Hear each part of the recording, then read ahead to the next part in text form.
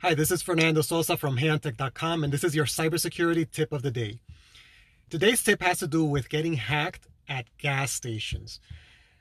There's a very interesting hack that is that is coming up recently in the news, and it has to do with uh, gas stations that um, are vulnerable to being hacked, and then people who go and purchase uh, gas with their credit card get hacked. And the way that it works is the following I've mentioned before about phishing email.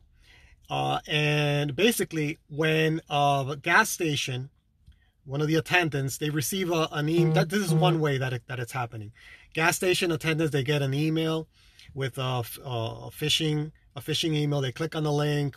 They go to a site. Their computer is infected, and then this malware gets on their on their computer network and scans their network and is able to connect to the same network, the same uh, network that the gas systems are connected to. And all the credit card processing, the credit card data, is is uh, is accessible via the same network. Now, what's interesting about this, and this, by the way, was uh, brought into light by Visa. Visa released a, a, a warning a couple of days ago this month, so you can look at look that up. Visa basically warned business owners and consumers about this this uh, issue that is happening at gas stations. And the problem is has to do with gas stations that have credit card terminals that do not have the chip, the security chip. If they're only using the magnetic strip, those are the ones that are vulnerable. Okay, so if they don't have the security chip uh, functionality, then be careful, be aware where you're putting gas. Uh, that that is not PCI compliant anymore, and you know it just gives you an an idea of how the security stance of that gas station is. So you might want to rethink.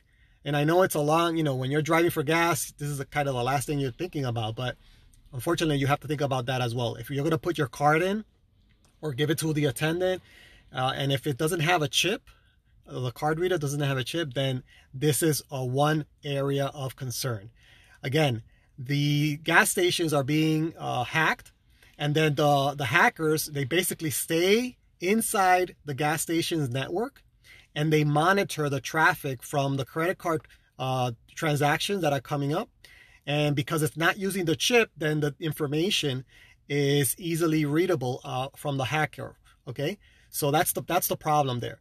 So uh, that is a again, if if you want to get the the the information that Visa submitted. They made it publicly available. Sign up for the cybersecurity tip of the week. I'll, I'll send you uh, the information or the link. Uh, it's a very extensive. They actually give you examples of what is happening and what data they're getting.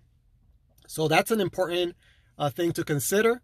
Uh, next time you fill up at the gas station, be aware uh, how that works. And that hacking method happens in many different ways. Um, when you hear about these large retailers being hacked and you know even local stores being hacked, that's a very common technique.